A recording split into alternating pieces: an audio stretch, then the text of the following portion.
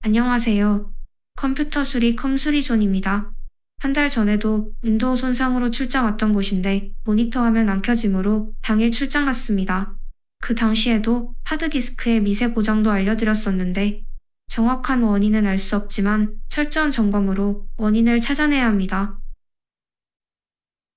이미 사용자는 연세가 있으시지만 검색을 통해 여러 가지 방법으로 해결하려 하셨습니다.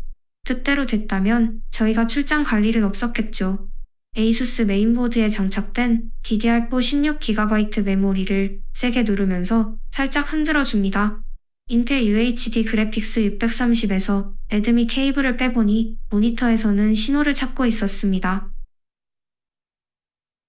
이로써 모니터 고장도 아니라는 것을 알 수 있었습니다. 참 애매하죠? 전원 버튼 옆에 있는 HDD LED를 보니 전혀 작동하지 않고 있었습니다. 고장일 수도 있어서 라이트 온 NVMe 128GB를 탈착했습니다. 여기서 하드디스크 고장도 생각했어야 했는데 그래서 점검이 더 오래 걸린 것 같습니다. 솔직히 하드디스크가 장착됐다는 것도 잠시 잊어버리고 있었습니다. 두 개의 DDR4 8GB 메모리를 탈착해 계속해서 점검을 진행했습니다. 그리고 ASUS 메인보드 슬롯에 솔을 이용해 먼지를 털어냅니다. 다시 DDR4 8GB 메모리를 하나씩 장착해보고 슬롯도 옮겨보고 했지만 증상은 여전했습니다.